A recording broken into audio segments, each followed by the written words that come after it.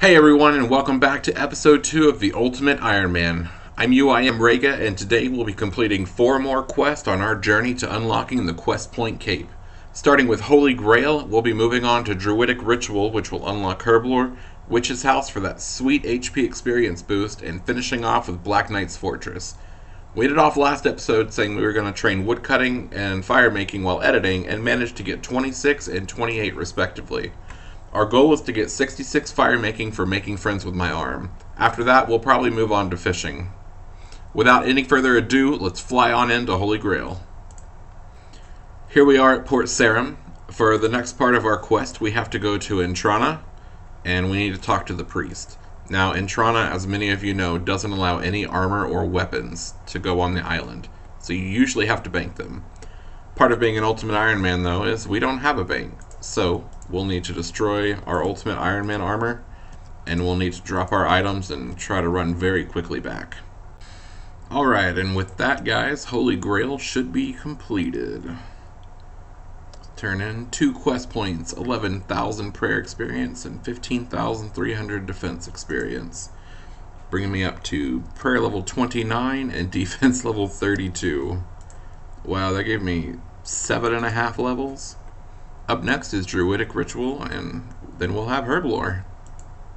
We have handed our delicious looking blue enchanted meats to Sanfew, and he told us to come report our good news. Skip through all this dialogue, blah blah blah. And there we go. Four quest points, 250 Herblore experience, and access to the Herblore skill. We won't be doing much with Herblore right now, simply because the ingredients are going to be too hard to get, but it's definitely coming up in the future. Next up is Witch's House just down here. Let's grab some cheese and knock it out. For all of you Iron Men that are following along with me, the cheese needed for this quest will spawn in Aggie's house. So you could just grab a piece and hop to another world. Uh, the wiki says to bring a couple pieces, so I'm going to grab four just in case, although I've done this quest several times, so we probably only need one. I would just hate to run back down here. We got the little boy's ball, which means Witch's House is complete. Let's go ahead and give it back. And man, four quest points, 6,325 HP XP. Wow, that was weird to say. 41 quest points total, and that brings our HP level to 27. We were just at 17, so that was 10 levels. Next up, we have Black Knight's Fortress. We'll need to go collect a uh, iron chain body from Varrock and a bronze med helm from Barbarian Village. And we have our cabbage. I actually got lucky trying to get the gloves. Uh, this one should be real fast, so let's let's do it.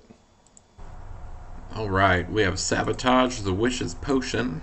Got a report to Sir Amik Varze here. 2,500 coins and three quest points. We're now up to 44.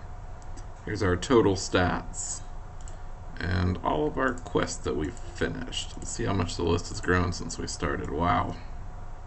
Yeah, we've got quite a few done now.